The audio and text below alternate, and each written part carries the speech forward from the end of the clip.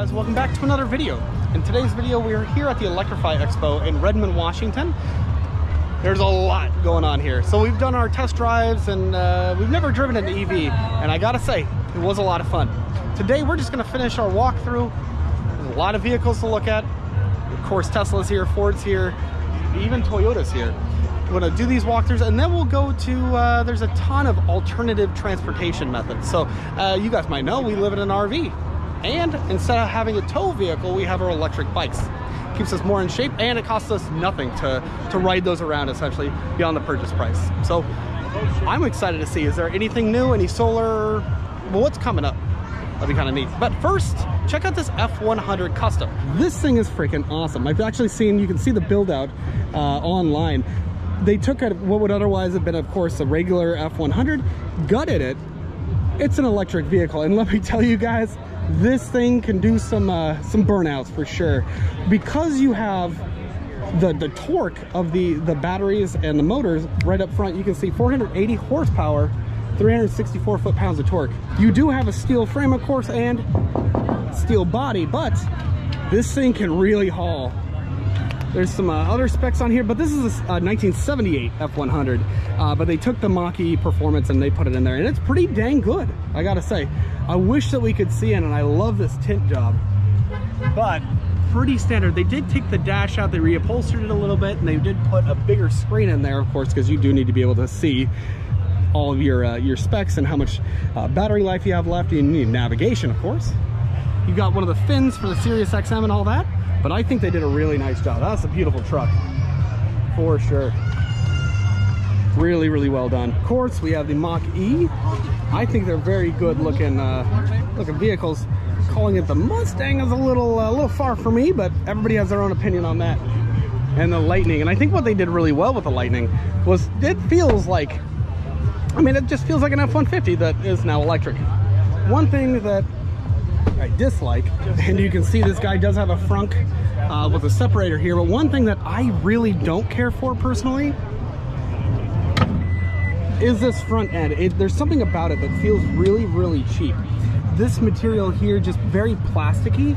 Uh, it doesn't feel like a regular F-150's higher quality, right? This, it just, uh, there's something about it. It doesn't do it for me, but you know, pros and cons, right? Maybe some people like that. The paint job on this guy in particular, beautiful. And especially considering this has been at plenty of shows, I'm sure. You know, there you are. Lots of storage. You still have the under storage here, so you can fold up that seat. Yeah, that really nice panoramic roof. Yeah, nothing wrong with this guy here. It's otherwise pretty nice material quality and a lot of options in this guy. You either love it or hate it, so if you're a pickup truck person, there you go it's not a good truck, that's for sure. I mean, when it comes to towing things, it's just, you're not getting the range. We're just not there yet. But if nobody buys them, of course, it's kind of hard to develop because you're not making the money to develop. I don't know if Ford really has that problem. They've got a lot of money. So let's keep going. And here we have Kia. They've got an EV, what they're calling an EV9. And uh, we saw the EV6. Uh, the EV9 is just a bigger version of that. I asked about one through five and then seven and eight they don't exist. So I don't know what's up with this. These rims are what I think are horrible, but you know, they're very unique. This front end, to me, feels a little bit nicer. We've seen really cheap plastics on the front end. I think this looks a little nicer. It's a little more plain, uh, you know, but I love these headlights. I think those are very interesting. They look like, you know, a fancy electric vehicle, like high-tech electric vehicle. And uh, these are some interesting uh, door handles. Let's see, I don't, I, I, assume they pop out and they'll go back in. I can only imagine having issues with the motor not bringing these out. I don't know what that's all about. And you can see the interior design. I think that the screens are a little small, but that's just me. Uh, I'd rather have one really good, bright, big screen than a bunch of small screens. Personal preference though. It looks comfortable enough. And you can see how busy it is here today. You don't have as much cargo space with the third row up, but you do have three rows in this thing. And for an EV, that's a pretty big deal. That's kind of nice. So uh, the style's different. It's definitely different. And we can see this guy is in a little bit more of an intense blue. That's something for sure. Yep. Yeah, now I noticed that the EVs for Kia, they've really been going with a more flat look here really flattening it out. Um, you know, to each their own. I do think these captain's chairs in the middle are, are very interesting. I think this might actually replace, you know, of course, depending on the range, which let's see what kind of range we're looking at. I think this actually might replace a minivan for a lot of people. Zero to 60 miles per hour in 4.5 seconds. And again, in a minivan, right? Oh, Um, 5,000 pound towing capacity. Kia estimates about 250 miles. So especially when it's cold, you're not getting close to that. It does have all-wheel drive though, so that might explain some of that. I would be nice if you could disengage the, the all-wheel drive so it's a selective four-wheel drive system. That would be really nice. Personally, I would like that option, but most people probably don't care about that. I like the matte finish on this. This is a partial hybrid electric vehicle. This is a Sportage. They're, uh, ooh, what are they saying here? They are estimating 84 miles per gallon electric. I believe this is a plug-in. Uh, and then, of course, if you're on gasoline only, 35 miles per gallon. But it's a bigger SUV. I like the, the wrap job they have on this one. You don't have a frunk on this. And so when we're talking about just electric vehicles, I think going, you know, a partial is definitely a good way to go. A lot of people like the Sportage. I think they're a little pricey for uh, for what they are, just personal opinion. God, I love this finish here. Uh, and it doesn't look like they have pricing on this, but, oh, they do. And it looks like these guys are coming in about 45, 285. So if it was between, personally, the Niro and this uh, Sportage partial uh, EV, I'd probably go with the Sportage for the same price.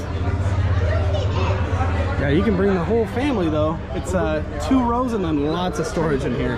Now this is very interesting. I've never seen a Porsche e-bike, but here it is. Integrated battery. It's a mid-drive motor. Thinner but uh, grippier tires. That's that's something for sure. they can. There's no price listed. I think that's intentional. And here we are at the Toyota lineup. Uh, it is very interesting because again, they have one electric vehicle, but the Toyota CEO actually doesn't believe that electric vehicles are necessarily the future. They could be a good option, but they are really trying to invest in hydrogen, which makes a lot of sense. Five minutes to charge to get, you know, three, 400 miles. I am inclined to agree with that. Uh, and then hydrogen is the most available resource that we really have for energy. Really the only downside is that while hydrogen used to be pretty inexpensive, right now it's also increased.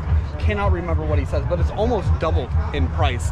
Uh, no, almost tripled in price, I think he said, from what it from when it originally came out, something like that. It was like 17 cents and now it's up to like 41 cents something like that. It's something ridiculous uh, per I think it was kilogram or something to that effect. That, that's kind of nuts. But uh, again, I think it, as there's more competition, as there's more options, as it's easier to manufacture, these things just come down in price. I do find it interesting. They're coming out with the Grand Highlander for 2024.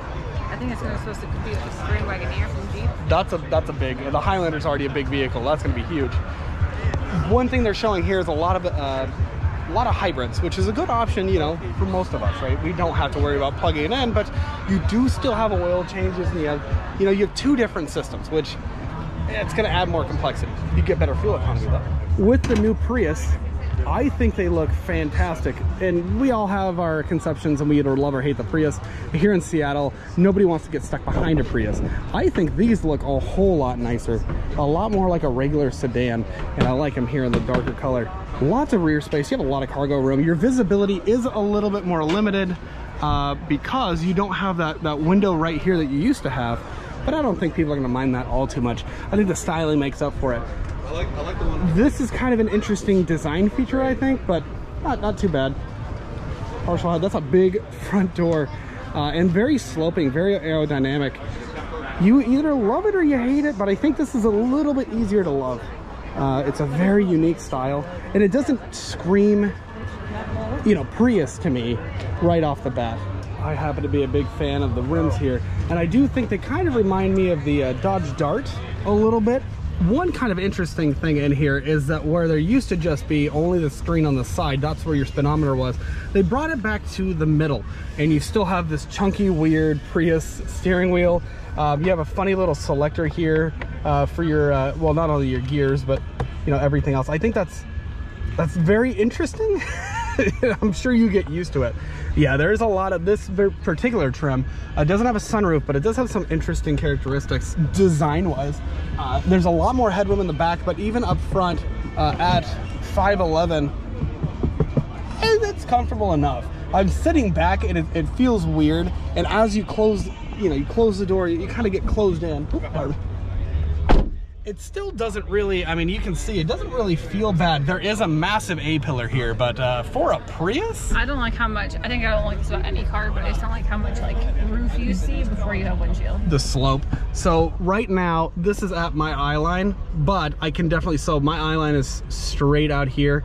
I can see that though. If It doesn't take much of a tilt ahead uh, to, to see the roof, so definitely. But that is a massive, massive mirror. And I think they did that to cover up the eyesight that takes up a lot of the visibility. Uh, I don't know, but it is it is a huge improvement. I think. I think more people can get behind the uh, the Prius now, and they did keep the price. I think they're around about starting around 28, 29,000, somewhere in there. And then you have that Toyota quality. But again, you have two different systems. Is it worth having to maintain both? For some people, it is. This is a Corolla Cross. So they took the Toyota Corolla, made it a little bit bigger. Uh, it's definitely interesting. But you had one of these as a rental. How was it? I actually really liked it. Was yours a hybrid as well? Yeah, it was a hybrid as well. Uh, I never plugged it in, but I could have. Yeah. Um, but it was a yeah, it was just a rental, so Yeah. I got a lot. I think I only had to fill it up. I had it for six weeks, and I only had to fill it up like two or three times. It's pretty pretty decent. And uh, I was going back and forth to work a lot. Yeah, it was comfortable. It has a lot of space. I it felt more like an SUV than a car. Yeah. There is a lot of storage in here. Uh, and I mean, yeah, it definitely feels kind of like a kind of like a RAV4 to me. I don't know. These uh these front seats small middle console. It's not huge, but it's also not bad. And I personally, I think adding the light up here with the sunroof makes a big difference. Did yours come with the uh, the rack? I guess it might. Obviously, it depends on the trim, I but don't think so. I think this is a lot higher trim now. yeah. I also kind of like that green. Uh, Emma did not. but one thing that is very interesting is seeing the, the Tundra and the Sequoia here. The Sequoia, really, this is a nice, this is a nice rig. You do have a third row seat, two bucket seats in the middle, and then two obviously in the front here. I think it's fantastic. And this paint job on this, uh, this is a capstone version. This is an aggressive grill, and it's of course the same design language on both of these guys. Huge front grills, really good. I believe these are both hybrid options, which pros and cons, right? Again, two systems, more complexity, but they're still pretty dang fuel hungry though, of course, uh, because they're a massive V6. Uh, and these guys, uh, they can put out some power, but you're not winning any races. I do really like the new Sequoias though, just myself. And I believe this is Toyota's electric vehicle. So this is a Toyota BZ4X and it's definitely a unique taste. I, I don't know. This is horrible. I don't know why a lot of these auto manufacturers are doing the second color here, trying to make it feel a little different, and it just doesn't. I don't mind the front, you know, the face of it though. This is an interesting little piece here, allowing the air to pass through. I kind of like that. But yeah, it's sort of like a, again, like kind of like a RAV4, a little lower. Uh, this center console, as you can see, kind of a Prius, uh, sort of Prius setup there. Very Toyota design language. But it did- definitely an interesting console. I, I probably would have preferred not to have a glossy black plastic finish on that, but I do appreciate all the uh, all the storage there. And I don't think that your uh, rear passengers will have any trouble. So they do have a, a front wheel drive and an all wheel drive option. 252 for the front wheel drive option and 222 for the all wheel drive option. Uh, personally, I'd take, I mean, you're not going off road in this thing by any means. It's probably not going to do that great in snow. So I'd probably go with the more range. Again, I don't, I don't love, you know, some of the materials in here, very glossy, very interesting this fabric i'm noticing this a lot with electric vehicles and i really I, I think this is something that will eventually go away it's almost kind of like virtue signaling trying to say oh i am using sustainable materials the reality is this is a vehicle this is going to use a lot of materials a lot of energy to, to manufacture there's still a lot of plastics in here even if you cover them with cloth for example so you know, personal preference, it, sounds, it seems like virtue signaling. Not a whole lot of headroom in this. I actually feel like there was more in the Prius. This display is just kind of funny to me. I, you know, it's a whole, it's a whole thing. Um, and this is as high as it gets. I don't know that I would be very comfortable in it, but uh, some folks might be. Yeah, it's, it's different. It's different. All right, so we have the Polestars. Polestar is owned by Volvo, but they are very reasonably like regular looking car, right? I like the the front. This doesn't, for some reason, it doesn't feel as cheap to me. And this one has a little vinyl bit. And they have a couple of options, of course. You can see that one's sort of just a painted front uh, front grille there as well. They're really low. You can see it doesn't even come up to my shoulder here. But, you know, it's a sedan.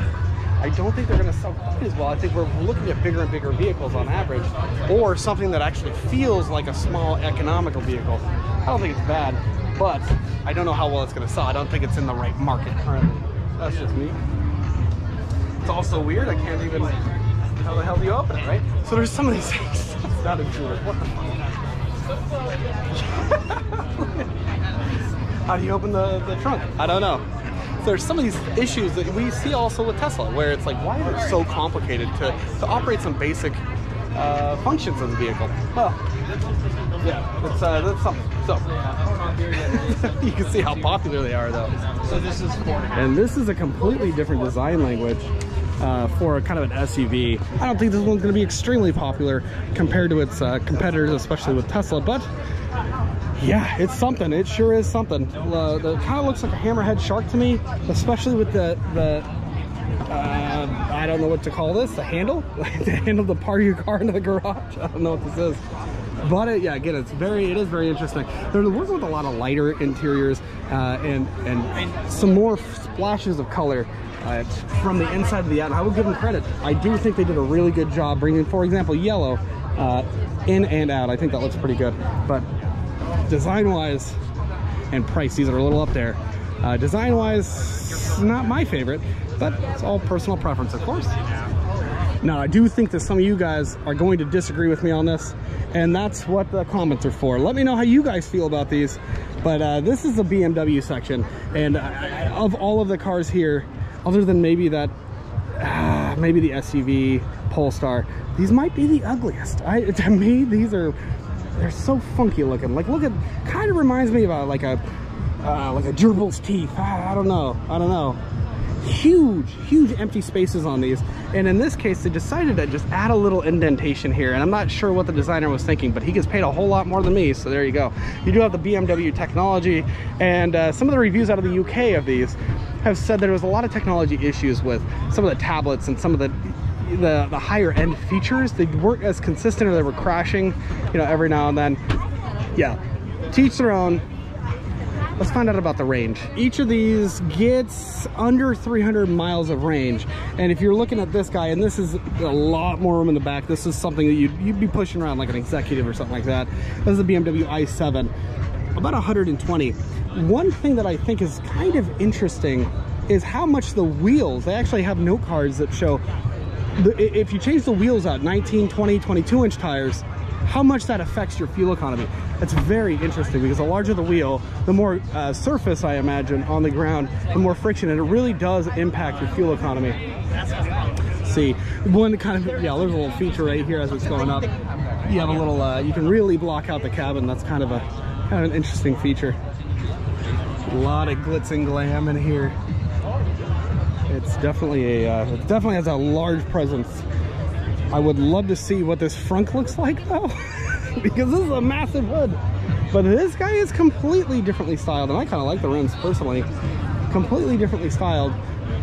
Uh, but this is the BMW iX 83200, but it's chunky looking. And uh, one interesting detail here, and you can see, of course, is standard BMW style. You have more of that satin inside finish. Uh, it's very unique. You can see, like, we're looking, working with buttons. Very different. And a lot more space in the back. But this is just, it's very, very different. It does look like you have enough storage, but look how chunky everything looks. A massive bit of uh, tailgate there. It's very, very, very interesting. I also gotta wonder, is this, just in case you have the trunk open, do you still have a second uh, light set if you have your four ways on or something like that? That's, that is something. I will admit, I have not done any research into the BMWs, other than what I've seen from a couple of reviews. Uh, they're just not my style at all. And for some of you guys, you really love the BMWs, of course. And this guy does. I love the headlights here, but again with that grill, yeah, yeah. 55,400, still under 300 miles of range. Uh, but that's a little bit more attainable. Frankly, if it was between Kia for 48 or this for 55, yeah, of course. Looking at these weird, oh, that actually has a regular handle. Well, credit to them for that. I kind of like the red. You do have a kind of larger individual screens, but they kind of wrap around as one. Yeah, huge. Uh, hello. have a really big sunroof. And there is a lot of room in here, but it's also very low to the ground. Some folks might not mind that. I would imagine it's a pretty quick little car, but beautiful paint. And again, a 55, that's a little bit more reasonable than 48 for a Kia. How do you feel about them? I think they're ugly. that's not my style. And overpriced, probably. Well, interestingly, so 120, 89, 55. Overpriced. Well, I do think it's overpriced, but 48 for the Kia, 46 for the Kia, or 55 for that? The Kia Niro or the Kia? Uh, the Kia Niro was the cheaper of the two, and it was 46. Yeah, you see what I'm saying? Within 10 grand, I'm going, I'm spending a little more money. That's just me. But I'm not spending 46 on a Kia either. Porsche does have an EV, and uh, with the frunk, with the frunk. So you can only imagine how much these cost to uh, repair. I really like the red interior, but you don't like that red interior so much. I don't like red in general. Yeah, this is very interesting saying that it's got three, no, so four screens in this very short car. One, two, three, which I hate, four. And I, I just don't like digital buttons for common use tasks that should not require you taking your uh, eyes off the road just to find because you can't feel. These are pretty quick and they're very interesting because they do give you a, a, a very futuristic sound when they take off, like a whir of sorts. You have a surprising amount of trunk space in here, but not a lot of leg room in the back. Although they do kind of wrap around you these seats, so yeah. It's uh, also this beautiful panoramic sunroof. I wonder if they're they're using the same manufacturer as Tesla because that is very well done. Okay, and it looks like this I believe he said was a GT model, and it's coming in at about 154, 154,000, about 250 miles of range. Usually get a little bit more, uh, depending. I do think the design language is you either love it or hate it, but Porsche has some of the best designers, of course, well out of our range. You tried to get me to test drive one, but if you guys know me, once I set my sights on something like that, once I like something, I gotta have it. You cannot afford to. I told him, I was like, I can't afford to test drive it. He goes, no, it's free. No, it's not. the Teslas, you guys know the Teslas. I think these they, they can do all the dancing and the, the light blinking and all that. Uh, it was very interesting to learn that these have uh, a very active airbag suspension on the inside. And I do think it's also kind of funny because if you've never seen these open, it doesn't actually just swing straight out. Uh, they swing up and then and then out, uh, sort of thing. So very, very comfortable vehicles. But these guys, you're gonna get about ah, 80 plus thousand dollars. You can see a third row in a Tesla, which is, I actually had no idea that they offered a third row. That was, that was news to me. But yeah, if we were looking at one, we'd probably look at like a Model Y. Just a little bit more, uh, a little bit more affordable, a little bit more, you know, basic, but you still get so many features in these. They're very comfortable and they smell good. What is this? Tesla bot? Tesla bot 2023. Not creepy at all. Okay. Oh man, yeah, and uh, they offer the white interior, and I have no idea, like, who's buying this white interior? I mean? I love the materials they, they finish them off with. Go ahead. you can see we're collecting all the swag. It's interesting, right? You have a lot of headroom. Go ahead. Oh yeah, let me show you this this door opening and closing. They disable it. With the Model X, they do have the center console right in front of you, the dash, uh, along with that screen, which is kind of nice in the middle. And if you want a to kid's screen get right some there the roll. Yeah, that's a uh, boy. I can see now why people are buying the X, but not yeah, not for me. This this individual style, it's very it's very sharp. It is very sharp not my style. I'm, I like the more dolphin face of the three and the Y, just myself. They're kind of cool. And I love the frunks on these. I don't know what it is, but I love me a frunk. All right, what else we got? Let's go, uh, let's go check everything out. There's also Volvo here and Mitsubishi. Here's Volvo, and it does feel like Polestar, doesn't it? If you look at the front ends of these, uh, one thing about these little guys, I think these are something something 40s. Something 40s. Let's see the back badge. The C40s, yes. One thing that I know why they did it, they wanted this line right here to match up with this line up here, but I think it's uh, it's too sharp. I think it looks kind of awkward to me. That's just personal preference. But these are very nice cars. If you guys have never actually driven a Volvo, they're pretty dang nice. I gotta say. Every time I go to sit in one, there's already somebody in there. What is this guy? Volvo. Let's see, what is this? This is the XC40. Let me see the inside of this. I guess I'll get out. I love the color of this car though. So this is an XC40. Everything really wraps around you pretty well.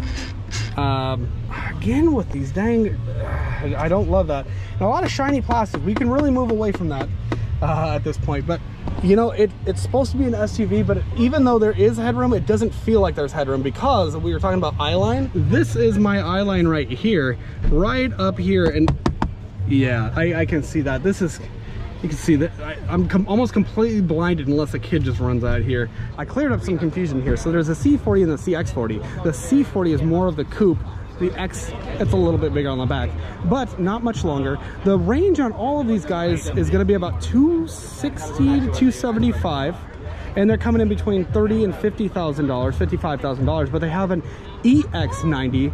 They have the X90 is going to be your gasoline version, the EX90 with a third row seat. You are going to get closer to 300 miles of range and they come in just under 80,000 well equipped. And I gotta say, those are some unique rims right there. Wow, that is something. I do like their tail light. Of course, if you guys like the the 90s, I don't see a 60 here. Personally, I like the X60s, but that is very interesting. A little interior shot there. Um, and again, with those materials they kind of just, I don't know. How do you guys feel about those materials? At, at $80,000, I don't want to be seeing that. That's just me. They look cheap, but I do appreciate they didn't put any really shitty plastic on the front. Um, I'm not gonna touch it because it's behind the behind the fancy line, but uh, it does look pretty pretty decent. That I believe is going to be their eyesight, and I find that kind of interesting. Very unique. Has a little uh, little unicorn bump out. I don't. That's fascinating, but definitely did not expect a, an SUV of this size, about 300 mile range. Very interesting. So it looks to me like these guys have converted what would have otherwise been just, uh, you know, combustion gasoline engines into uh, electric vehicles. Ooh, I love that color. Oh. Oh, yeah. it's got Remember, kids, electricity will kill you. That is a Galaxie. Galaxie. That's hilarious. That's insane. That's awesome. Conductive classics. That is awesome. This is beautifully well done. And look, regular handles. I can appreciate that. Man, that is well, very well done. I like they have a frunk. Uh-huh. Tell me this is not one of the coolest 64 Ford Galaxie. Not one of the coolest electric vehicles you'll ever see. Look at that. Oh man. This is something I'd like to see a whole lot more of. Is instead of, you know, gas prices are rising, you like you like hobbies and working tinkering with things, convert your old car. Why the hell not? That's awesome. This, I think is gonna win the show. It's gonna win the show. Look at this. Volkswagen bus. Oh man. And I even have a little little eating cooking area there. Oh, still fitted for camping. Look at this. Is that not super awesome? Oh, and the roof is done in some nice suede. I don't want to touch it because it looks so well well kept. But oh, slam too. With them thin tires. Look at that thing. She's nasty. Look at her. Bisimoto. That's Whoa, it's ridiculous. That is ridiculous. So you would have no idea this was electric. Is that not sick? Oh, and I love these headlights. So much personality in this little thing. But just for some context, super slammed. Oh, I love this. That wins any day of the week. I don't care what that costs. We're buying it.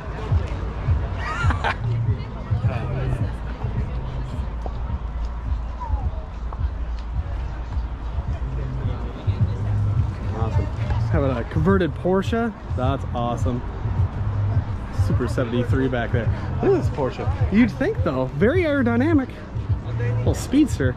I would bet that gets some pretty good uh pretty good range, but I imagine it's a little heavier. They used a, a thicker metal back then, right? So yeah. That. It's about as classy as it can get. Mm-mm. Beautiful. Imagine cruising down the 101 in any of these. You guys know my love for Econolines. Yeah, the kind of, Econoline. There's an Econoline here. Look at this. They used to have the mid-engine on this guy. Now it looks like it's all your uh, all your electrical doodads. Oh, talk about a perfect shag carpet. Little insulation because you know it's you know it's loud in here. Oh, this is awesome. This would be a badass conversion. Make this like a little uh, little RV on wheels. Whoo! Love it. I love it. They do anything fancy with the gauges? Oh, just a little screen in there. Oh, I like that. And then they kept very simple buttons. Yeah. Yeah, this. I'll be very happy to own this. That is sick. Oh yeah, lots of Teslas over here. This thing has a, it's about to take off. Little, little carbon fiber uh, accent on this guy. Oh yeah. Oh man, everything out here. Oh, we saw this guy the other day at the Kirkland Car Show too. I wonder if these are the same headlights this guy has over here. Oh yeah, little air tank in the front. Look at the paint job on the air tank. That's awesome. Yeah. Very cool. Oh, that's it. You know, that's easy enough. But like this kind of a, that's cool. It gives it a little, little detail. You see that? That's awesome. Teslux Innovations. Teslux. Teslux. Uh, very, very custom. Oh yeah. Little carbon. Ooh, some of this. Yeah, that's cool. That's really cool. Badass edition. 2018 performance. That's awesome. Yeah, Lambo conversion for the doors. I like even like the little little rims there. That's kind of cool. Single charge range, 310 miles. And they got the you gotta put the air tank somewhere in there. There you go. I like the I like the wrap they did here too. Yeah. That's cool. And the red seats in this. Look at that. Folks, they want that uh, that fancy steering wheel. Trim yours, put a little uh, put a little cap on it, finish her off. Why not? This feels like Spider-Man. I'll tell you, like Spider-Man's cave. Little LEDs around the top up there. That's cool. Super cool. This paint job is slick. We also saw this one in Kirkland. Uh, TeslaOwnersWA.org. This is beautiful. Oh, I love that. Oh man. Yeah. Whoop. See, range 315 miles. Still getting out. This is all-wheel drive performance edition. Super cool. And this is interesting. L-E-Y. L-E-Y? L-E-Y. Lay? Oh, wow. Whoa. Wow, even that kind of looks like a game controller. That is. Let's add these, don't they? It's interesting. What is this? That's that's custom. That's for sure.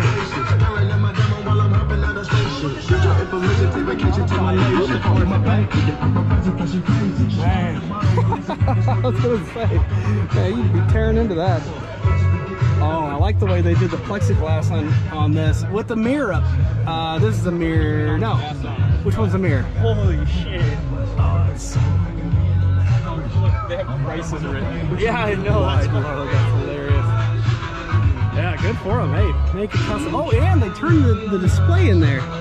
I really respect that because that display is not facing you as a driver.